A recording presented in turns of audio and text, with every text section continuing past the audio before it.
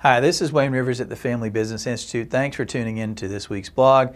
Let's have your comments below. Future topics, perhaps, would be a nice thing. And, uh, and uh, this week we want to talk about conflict. And we want to talk about the frequency of conflict in family businesses. So let me just put you at ease. First of all, uh, conflict is the rule. It is not the exception in family businesses. So if you're experiencing conflict in your family or in your business or both, you know, don't feel bad. Uh, well, don't feel any worse than necessary, I should say. It, it always feels bad when you have conflict. Um, but don't feel like you're alone. You're not. And, and there was some research that came out of our trade association, the Family Firm Institute, in 2009. And I have no reason to believe that this research is, is anything but fresh in the sense of what we're seeing among family businesses today. So, how often is conflict then among family businesses? Well, in this survey, 20% reported they had conflict every week. Another 20% said they had conflict on a monthly basis. About 40% said that they had conflict three or four times a year. So that's about 82% if you look at the survey. What conclusion can we draw about the other 18% of family businesses? Well, they're lying. they have conflict. You know, perhaps they weren't willing to disclose that to these researchers, but come on, they have conflict. How do you how can you live life? How can you be in a family and not experience conflict? And then you, you add the complications of a business to that, please. There is definitely conflict in those in that 18%. So don't you know, surveys are terrific for what they are, but you can't always believe every, you know, the, the, you can't ever believe it's gospel, okay? So, now, how did they report in the survey that they resolved the conflict? Well, a proportion said we just leave it up to the senior generation. So think about this for a minute. You've got 70-year-old mom and dad, and you've got 40-year-old uh, you know siblings in a business. Adults, right? They run their own households. They're married. They have kids. They're responsible human beings. They have a conflict in the in the context of the family business, and they go to mom and dad. Are you kidding me? Adults who should be engaging with each other as peers go to mom and dad as children and say, oh, can you solve this problem? What if mom and dad aren't around anymore? What if mom and dad spend the whole winter in Florida? I mean, you know, what if mom and dad are past their ability to reason effectively anymore because of age? Seriously? Another group said when they had conflict in the business, they avoid it. Well, we all avoid conflict. None of us, unless we're drama kings or queens, none of us want conflict. We don't seek it out necessarily, but it's there. And avoiding is the worst thing you can do. You know, deciding not to decide is still a decision. Avoiding doesn't help in any way whatsoever.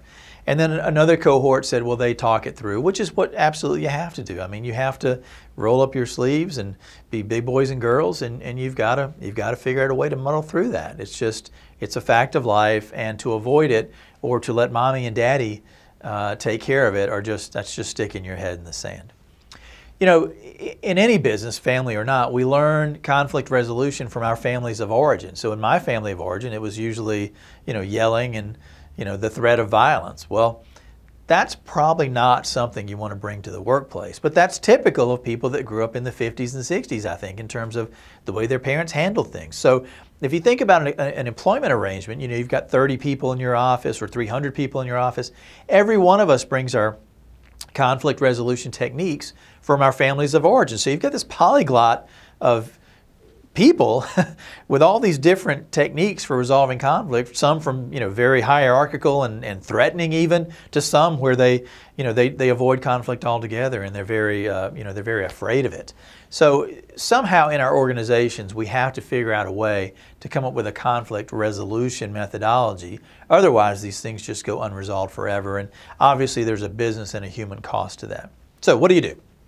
All right, a few things. Uh, first thing is self-awareness. That's, that's the first element of leadership, self-awareness. You know, if you know yourself, you know that you are, you are strong in certain ways and that you also have weaknesses and blind spots. So the best way to become self-aware is to start to take psychometric, psychological type of Kolbe, Myers-Briggs, DISC, all those things and learn what you, your strengths finders, you know, what are you strong at versus not so strong at. There's, there's dozens and dozens of you know, self-help kind of things on the web now that you can do. But once you know yourself, then you go to step two, and that's team awareness. So on your team, you've got this group of Myers-Briggs types or this, this, this selection of DISC types. Well, once you know that and you get a little bit of uh, uh, counseling and coaching on those things, then you, you, you, know the team. And the idea with knowing your team really well is the platinum rule. So we all learned the golden rule when we were kids. The platinum rule, which I think is a better rule for the workplace, is you, you treat people how they want to be treated, not how you want to be treated, because you're unique and you have different wishes and needs. Well, so do the other people. So if I know that the other people on my team want X, Y, or Z, why is it beyond my power reasonably to, to give that to them? If I know their types via this psychometric stuff, then why wouldn't I go ahead and, in most instances, try to give them that which they want versus the way that I perceive things or receive information or push out information? Uh, the third thing is a coherent common vision for the company. You know, if you have that, it makes it makes conflict go away in the sense that when you attract new people to the team, they can they can clearly aim for that same vision. And right away, if you've got people that share your vision for where the company is headed, you've eliminated one great source of conflict, and that is different visions. I want to be a $50 million company, but she wants to be a $100 million company. There's really no way to resolve that uh, either way, somebody's going to find themselves unhappy. So if we have a common vision for where we're going, you take away one big source of conflict in family businesses right away. Today's people want to be pulled, not pushed. Command and control, top down, the military style of, of leadership is not as successful as it once was. Today's young people, today's middle-aged people even, would much rather be pulled in a certain direction. And that's what vision allows you to do. It gives you the ability to pull versus, you know, push and kick people in the shins and be that kind of a leader. And then finally, professionalize your organization. You saw my blog a few weeks ago about the magic bullet. Look, strategic business planning just works. Vision, mission, values, having a strategic plan, having a budget, having really clear roles and responsibilities across the board for your people. Doing all those things removes so many sources of potential conflict and it just kind of withers on the vine. So please take our advice. If you have conflict, deal with it.